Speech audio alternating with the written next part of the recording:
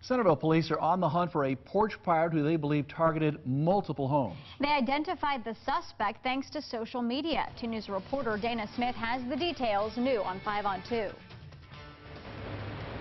That's right, Mark and Brooke. Police discovered the suspect's identity after posting about it on Facebook, and now officers right here at the Centerville Police Department need the public's help just one more time to figure out where he's hiding.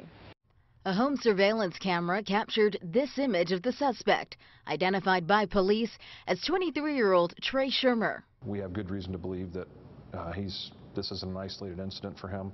Uh, we know of other police departments that are looking for him as well, but we're the first ones to have warrants. Centerville Police Department's Public Information Officer John Davis says a call came in Friday from Centerville's Cheltenham area reporting a suspicious person seen looking in mailboxes in the neighborhood.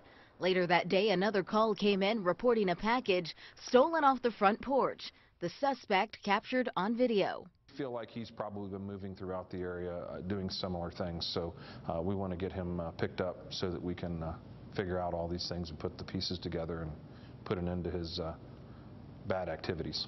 The image was posted on the police department's Facebook page and other social media sites, and it wasn't long before several people came forward with Trey Shermer's identity. Davis says it's hard to say exactly how big of a problem porch pirates are. Um, you know, you call Amazon or whoever the shipper is, and they go, okay, and they send you a, a new package. Um, so eh, we get several reports probably a week of this activity, especially during the holidays.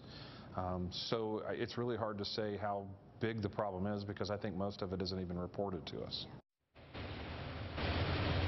As of right now, he's facing a charge of misdemeanor theft, but Davis says that could change as the investigation progresses. I'm live in Centerville. Dana Smith, 5 on 2.